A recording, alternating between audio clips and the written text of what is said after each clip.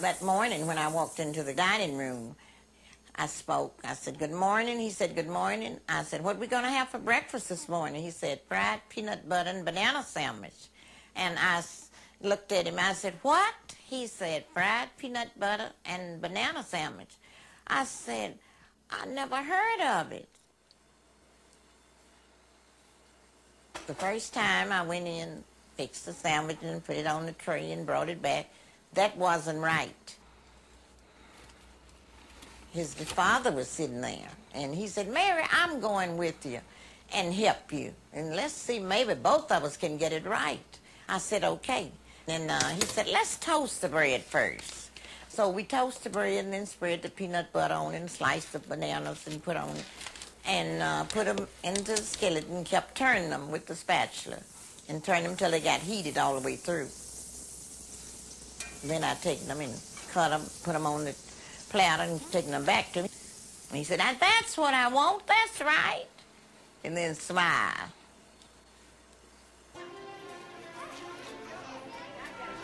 The constant thing with Elvis was no change. He always stayed the same. He was this way, he stayed that way. He didn't like change. If he wanted them in the morning when he woke up, I would have to fix them. If he wanted them at 2 o'clock in the morning, I would have to still fix them for him. Whenever he get a taste for him, he'd call down, and that's what he wanted. Well, well, yeah, I imagine that hoped to make him heavy because he wanted them real rich. Because they had him on a strict diet one time. Had food coming in from uh, California for him. And uh, sometime he would eat it and sometime he wouldn't. He said that's the only thing he got any enjoyment out of was eating. When he was in the hospital, he would call me to bring him in different foods. And one day he called me and told me, he says, Mary, said they have me on a diet, and I want you to slip me some hot dogs with kraut on them and slip wrap them up and slip them into me and tell, tell them there's some clothes that you were bringing me up here. So I went on in with the bag in my hand and handed it to him, Mr. And he looked at me and smiled. He said, Mary, we can get by them, can't we? I said, yeah, we sure can. And he opened that bag up and went to working on them hot dogs. This is the house that Elvis bought for me. He bought it in 1974.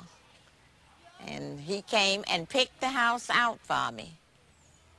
And I liked it, and he liked it. So he said, well, Mary, this is your house, if you like it. I told him I loved it. It was really nice. What can we do now? He was just a sweet person. The last thing was that cheeseburger, cheeseburgers. Uh, Saturday night, because Sunday night and Monday night he didn't eat anything. I said, you're not going to eat anything for me before I go. He said, mm-mm, I ain't hungry. I just want to rest. And I said, well, okay then. Night, night, and I'll see y'all tomorrow. He called me May We. He said, well, okay, May We, I'll see you tomorrow. And that's the last time I seen him alive. That was five minutes to two in the morning.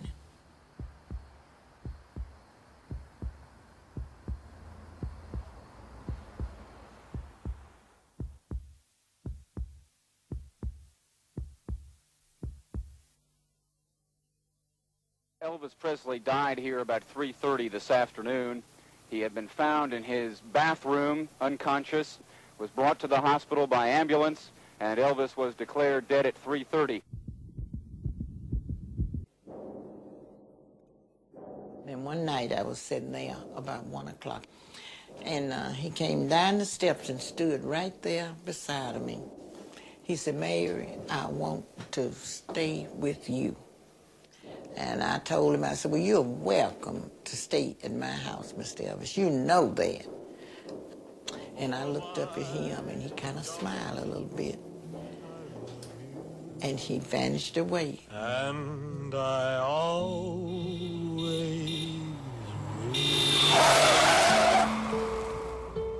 The cook was already there. He said, Daisy, he said, would you like to have a car? She said, I sure would, Mr. Elvis. He said, well, that's your car right there. And she thanked him and she run and picked him up off of the ground. She picked him up? Picked him up. Daisy must have been some had- heifer. And she Yeah. had a wig on. She had a wig on and the wig fell off. and uh, she looked down. He said, Daisy, your wig done fell off. She said, well, I don't care. And she just went to jumping him up, just jumping. And then he asked me, he said, Mary, he said, would you like to have a car? I said, I sure would. He said, well, that's your car. That white one there is yours. I said, oh, thank you. I said, that's something I never had given to me. I said, I never had anything given to me. So what happened when he was trying to diet? Because he loved food. Well, he would just stay up in his room, and he wouldn't come out. And would you stick with the diets, or did you cheat with him? No, I he I cheated. wasn't. I, I tried to cheat with him Yeah. at one time. His doctor told us, and "Now we want you to, y'all to help us to keep him on a diet." And uh, we did. I fixed his tray that morning and carried it upstairs to him, and sit it down and ran back out the door right quick. By the time I got back downstairs, he called. He said, "Mary," he says, uh, "Come uh, up here a minute." I know what he wanted. He said, uh, "Who signing your checks?" I said, well, you're signing them, Mr. Elvis. He said, well, I want my breakfast like I've been getting it every morning. Were you there the day he died? No, I was working at night. The night cook was off sick. So you worked the night before he died. Yes. All right, well, let's talk about that right after we come back. All right. All right? We'll be right back after this commercial.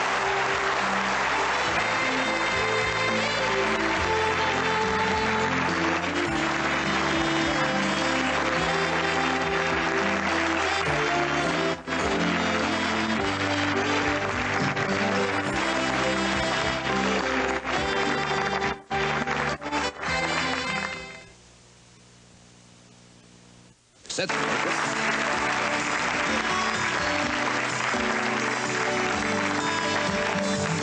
We are back, and we are talking with Elvis Presley's maid and chef, Mary Jenkins. Um, where were you? Were there the night before he died. Did you have any Yes, clue yes, that he was. was so ill and so rational? Well, uh, no more than he told me that he just wanted to rest. He didn't have anything to eat that night, and just, and he just wanted to rest. What do you think of all the things they say, like um, Elvis is alive?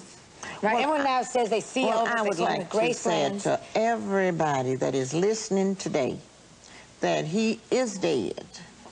And that is sure, for sure. Different ones call and ask me things like that, that is he dead? But he is dead. Did you go to the funeral? I heard it was such a.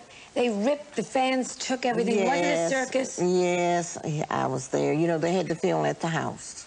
They had the bodies alive there in their state for three days. What about his temper, Mary? Did- His- was he, his I heard he had a. a, a Uh, Well, a bit, yeah, but he was just a normal person. And he would get angry just like you or I. what about the wives? Uh, the wife, uh, Priscilla, which I think was the stablest part of his whole life. He really loved it. Priscilla, and And- she loved him. And after the divorce, he then went with Linda Thompson. Thompson. Uh-huh. Do you think that if he had been with, because those are two tremendously nourishing women, both Priscilla That is right. and Linda. I know, I know Priscilla a little bit. I know Linda very well. Yeah. Um, do you think maybe he was just with the wrong people at the wrong time at the end? That if he had been with, I don't mean to lead you into saying things, but uh, do you think he'd stayed with one of those two women, he'd still be alive today? Well, I believe if he had been with Priscilla, he would have been alive today. I really believe that. Now, Linda was good to him. She was sweet person, and she was real good. And she really seen after him. What about Graceland? Were there always that many people around? You always hear stories. He had 65 people, and they were all downstairs. And Everywhere. Well, he loved it. Uh, he just loved the crowd. And he always wanted somebody, all of the fellas that worked for him, he always wanted them to, to be there. now those are some pictures of times. Graceland. Obviously Yes, decorated by a straight his decorator. that is his dining That's uh, room. yeah, that's his. Uh-huh. And that is the pool room there. And what else have we got? That's Now, that is the dining room Again. before, the, uh, when they had it in red. And they changed it back to the way it is today, in black. And that is the hallway, that's the entrance hall leading upstairs. Does it still look like that today? It's now a tourist attraction, isn't it? Yes, it is. And do you work there still? No, I retired 10 months ago. So you must have made some. Did you make good money? What, what did you start with? What was your original salary? Well, when I first started off there, after everything was taken out, I brought $48. Well, at that time, for to be working in a private home, that was good money. Yeah. At that time. And what did you end up with? Well, with uh, two, two, about 265. And but he also gave you your house. My house, the house that I'm in now, he bought that house for me. What about the drugs? There were so many drugs. Well, Were I you tell aware you, of it? I never seen him look like he had no kind of drugs in him. And I was there day and night, and I never seen it. But you know it was so. I mean, it was proven to be so. Well, they they said, but I never. I just can only say what I've seen. But I always, the only time I would see him, he would just be resting and just be sleepy. He'd just be laying down resting. And whenever he come home off his trips, he would always come home to rest. And that's what he would Did do. you ever sing around the house? Yeah. Did you ever listen and say, ah, getting a free concert? Yeah, uh-huh. Yeah. We would have a time when he'd wake up with a good spell on him. Oh, we'd have a good time. He'd pick the guitar, pick us some old blues. He said, I'm going to pick y'all some B.B. King blues this morning, Muddy Water blues. And he would do that, and we would just have the best time. What about his favorite song? Was there any one thing that he always sang? Do you remember that at all? Well, most songs that he would sing that I really would like, I liked all of them, but church songs. Now, he really precious Lord. He always would get up mostly singing that. Now, were you there when Lisa Marie was born? Yes, I was. And do you still keep up with her at all? Yes, I do. But since she had the baby, I haven't got a chance to see her other baby. But when that, I didn't even know that the baby was born, and that my mother was in the hospital. They came out to the hospital and interviewed me, Channel, uh, Channel 3, about the baby. It's funny how, well, life continues and life goes on. Yes, uh-huh. And how nice to have you on the show. And the book is called Elvis, Memories Beyond Graceland's Gate. That's and right. I thank you very much for being with us. And we'll be right back.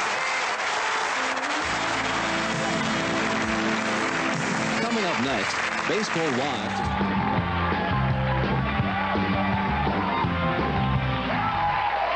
Thank you, gentlemen. Our next guest uh, went to work at Graceland back in 1963, and for 18 years uh, she was Elvis Presley's cook. This is her collection uh, of the favorite recipes of the king. Folks, please welcome Elvis's favorite cook, Mary Jenkins. Mary? Hi, Mary. You. Thanks for coming. Come on down here, and uh, we'll talk a little bit, and then you're going to actually uh, you're going to cook something for us, aren't you? Yeah. Yeah. And you worked for Elvis Presley for 18 years? Well, I've been at Graceland 25 years. Uh-huh. But I worked for him 14 before he passed. What was what was your relationship uh, like with him? Did you see a lot of him? Uh, a was he, was lot he, of him Yeah. every day. Was he was he friendly? Just as friendly as he could be. He treated you very well. Couldn't want it to be treated no better. Yeah. And and you had uh, could you like joke with him? Would he joke back with you? Yes. Did he have a pretty good sense of humor? Oh, yes. Yeah. Yeah. And and you they had a cook on staff there 24 hours a day, didn't they? Yeah. Yeah. And what shift did you have? The morning shift. Morning shift. And so you'd be responsible for obviously breakfast, right? That's right. Now what would breakfast be there at Graceland? Well, he liked it, uh, omelet, egg omelet Uh-huh. for breakfast. He liked sausage and biscuits Right. And cream of wheat, Right. fresh orange juice. Mm-hmm. Well, he just, he loved That's breakfast. That's yeah. Long So a, a, a big country southern style breakfast. That's right. Yeah, and That's lunch? right. Did we have a lunch there? Well, well, we wouldn't sell lunch because whenever he would, would wake up. Right. that would be lunch, breakfast, What was it? dinner, or whatever. Just depending on the time of day, that's the meal that we'd have. Yeah. Um, if you were going to have a big party or a big family get together, what was like the uh, best uh, uh, dinner or supper or a party meal you could make?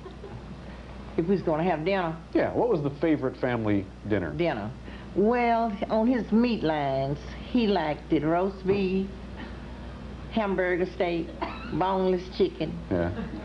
and ham steaks. Yes, ham now steak. that was his meat. Yeah. So, so again, it was just a good, solid, all-American Yeah, cook. uh-huh. And uh, black-eyed peas, Yeah. sprouted peas, string beans, cream potatoes, Yeah. and mixed vegetables. Okay. Those was his. Let's go to work here. We're gonna we're gonna make now. Mary, come on, come on over here. What? Oh God, they've moved they've moved the cameras. Mary, over here. Do this. We want everybody we want everybody to be able to see you while you work. All right. Okay. Let me fix some lamb to fix. So you're you're just gonna use what is it like a tablespoon of butter? That's a whole of butter. Jeez, you could paint the garage with that, Mary. Yeah, but that's the way he wanted it. Damn. Quarter pound of butter if you're writing this down at home. And some toast. Yeah, toast. And then you're applying uh, what appears to be uh, peanut butter. That's right. Mm-hmm. Peanut butter. applying the peanut butter. Now, was this a recipe that you invented or Elvis No, invented? he went on a tour. Uh-huh. And when he came back, he brought this with him. and, Brought this back. Do you know the origin of this recipe? well, Okay, now bananas. Peanut butter and bananas. Oh my gosh, what a marvelous little tie-in with Marlon Brando's appearance. These bananas have been on the floor, Mary. and the main thing about it, I had to go back five times before I got it right. Well, well, I can see that. It's quite complicated. Yes, it is. And now you're so essentially. Now, please, was he? Uh, um, did he? Did he treat you well? Did you have uh, bonuses and? Oh, yes, we got a $500 bonus every Christmas Uh-huh. Did he give you gifts? in gifts. Uh-huh. What kind of gifts That- would you get from Elvis? This ring, he brought it from Here, uh, let me help you with that. Vegas. You have a, you're having a, a ring there that Elvis brought you? Mm-hmm. I guess just up there like that. Like, Oh, you want kind of like him, just soaking yeah, that's right. And then you serve that. And, take- yeah. there you go. All right. And about a dozen of those feeds one. So, uh, so let's show us. Let me see the ring, Mary. Oh, that's beautiful. Emeralds and gold. And uh, he he bought you uh, automobiles. He what what kind of cars? Well, it was Cadillacs all the time, except he bought me three, one Ford. The first one I got was Uh-huh, Ford. Yeah. And then the rest And of that was three months after I was there. Yeah. Did did you enjoy your time there? Oh, did I?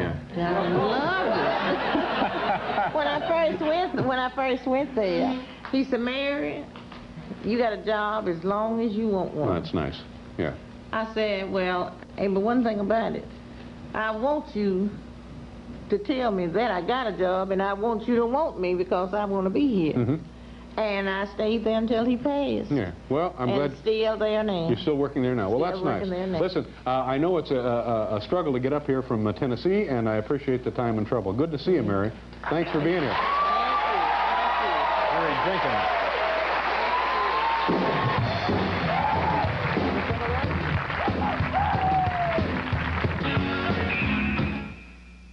Is that a true story? Yes, Yes, he, lo- he loved fried peanut butter nana sandwiches. that's right. He would ask for that any time of day or any time of night. And, and how did you uh, prepare those? Well, you would toast the bread first. Uh, just in a regular toaster. Yeah, yeah, uh-huh, toast it in the toaster. Okay. Not real brown, medium. Medium. Okay. Uh, and then spread your peanut butter over that bread. Slice your bananas real thin. Okay. And put it, uh, put your butter in the skillet, put it down on a low heat.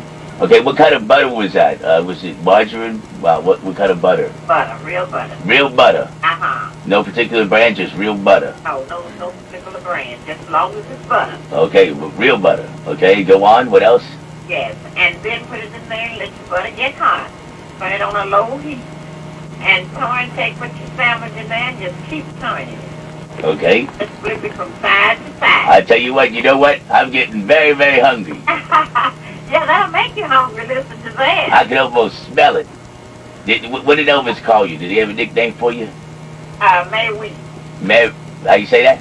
May we? May we? Uh-huh. All right. Okay. Now, let, let, let me ask you this: Did he have a set time for breakfast? What time did he usually eat breakfast? Well, just any time. Now, any time. Some mornings he'd wake up hungry. He'd call in the mornings for his breakfast. All right. What would he call for? Well, um, he likes uh, homemade biscuits. All right. Uh, chicken eggs. He likes a egg scramble, well done. Okay. Bread a cream of wheat. Cream of wheat. That's I was, gonna- I was going to ask you what was his favorite bread. Cream of wheat? Cream of wheat. Okay. Uh, and uh, we made his uh, orange juice, fresh orange juice. Fresh squeezed orange juice. Uh-huh. Okay. And uh, somebody told me he liked bacon. A lot, a lot of bacon. Uh-huh, and like it fried real crisp. Real crisp or, or dark, dark, dark crisp? Yeah, Real dark. I get real down. Real, real dark. That's Not born, but real Okay, somebody I heard a, a, a rumor or I read somewhere that he loved a lot of his foods burnt. If it wasn't burnt, he'd send it back. Is that Oh, no, he didn't like that's not true? I'm glad to hear from you. Yes, no, he didn't like it burnt, but he did like it uh, bacon, real, you know, brown and crisp. Did he usually eat lunch or is it just uh, two meals or did he eat three meals a day? a day, unless and he would just wake up and stay woke all day, and he'd probably eat all day if he stay woke all day. Uh, that's right, huh? Uh, so what was his favorite meal as far as like a supper? Did he have a supper? Did he call it supper? Did he call it dinner? Well, uh, dinner, Dinner? dinner. Well, it's meat was roast beef, hamburger steak, boneless chicken, Boneless chicken. boneless. And how'd you prepare that chicken? Did you fry it? That it would be uh, the chicken would be something kind of like uh, fillet, no bone. No bone. Uh huh. And uh, you would just batter it and fry it just like regular chicken. Uh, that be, did he like dark meat or white meat? White, White, okay. like the white meat. I tell you what, I'm gonna start. I'm gonna start eating all of this stuff because you know I really admire the king. Yes, he really, he really could eat. And I mean, he's really easy to cook for. Say that again. I said he was easy to cook for. He Oh. wasn't a picky person. Yeah, that's that's what I heard. Uh, Hamburgers, stuff like that, cheeseburgers. Uh, yes. Oh, you know, I want to I want to hear the story about the time that uh, you were cooking something down in the kitchen and Priscilla supposedly called down and and wanted to know what that smell was. Oh. well, I was making spaghetti. You was making spaghetti, Uh-huh. and, and what happened? And uh, he, she called down and asked what was I cooking that smelled so good. I said, that's spaghetti I'm making. And she said, well, when it gets ready, bring me up a bowl. And when I taken hers up, it looked so good, he said, go get me a bowl too. Because he didn't care anything about spaghetti. But after that, he started eating spaghetti. That smell and that that that just the look. I had you, you got him. Uh, okay, one more question, and we'll let you go. Uh, uh, well, also, you, did you uh, did you put a cookbook out? You the cookbook. I have a new book out. Uh, what's that? The book, the name of the book is uh, Memory Beyond Graceland Gate. Oh yeah, I bet you there's plenty, plenty memories. I have a lot of menus in that book. It's not just that called a cookbook, but I have a lot of recipes and a lot of his menus in there. That's Memories Beyond Graceland Gates That's right. by Miss Mary Jenkins, Elvis's personal cook right in the Graceland building. That's right. Okay, let uh, speaking of memories, just share with us uh, that what's the the warmest, nicest thing you ever saw Elvis, you know, do in front of you, you know, that you witnessed, the nicest thing that you can just remember him for being such a great person. Well, I'll tell you that, Mr. Well, that's the, Your, your nicest memory. well, I, was, uh, I was getting ready. I had got through with dinner. I had served him, got through everything. And I had got dressed. And I was getting ready to go to a cocktail party. And, uh, I heard somebody call me. They said, May we? And I looked around, I didn't see nobody. And they called again. And so some of the fellows that worked for him was sitting there in the kitchen. I said, somebody's calling me. They said, that's the Elvis voice. And I looked around, and it was him. He was standing in the door. We had a room there we called the bird room. He, uh, he had some birds, and we used to keep the birds in there. Live birds? Uh-huh. And what kind of birds would they be? In, in the cage, they was, uh, he had some little parrots and different, different kind of birds. Tropical birds. Uh-huh. Okay. And uh, he said, Mary, come, may we come here? And I walked over to him. I had got dressed to go and everything. And he had a, one of these uh, lyres from uh, Hawaii. Uh huh. Mhm. A lay? Yeah, like, Okay. and uh, he put it around my neck. He said, I want you to wear this. I, Uh, he said, you know, when a man puts around a lady's neck, you know what they do? What they get for that? I said, no. He said, a kiss. oh. And he, he turned around and he kissed me on the jaw. I said, I looked up at him and smiled. I said, do you have another one you can and, and it just tickled him to death. Oh, that's a great story, Mary. That's a great story. Can I call you May We? May we? May We. Uh-huh. I love it, baby.